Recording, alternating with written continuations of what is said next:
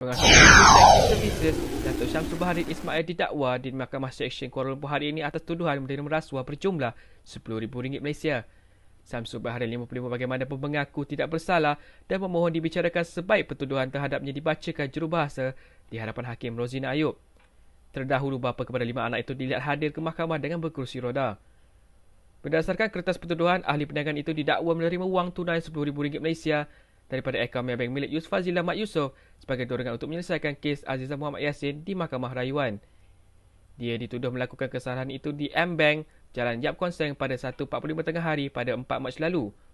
Dan didakwa mengikut Seksyen 16 dalam kurungan A dalam kurungan A Akta Suruhanjaya Pencegahan Rasuah Malaysia dalam kurungan SPRM 2009 yang boleh dihukum penjara maksimum 20 tahun dan denda jika sabit kesalahan tertuduh diikat jamin RM2,000 Malaysia dengan seorang penjamin dan pasport diserahkan kepada mahkamah hingga kes selesai. Mahkamah kemudian menetapkan 1 Oktober ini untuk sebutan semula kes.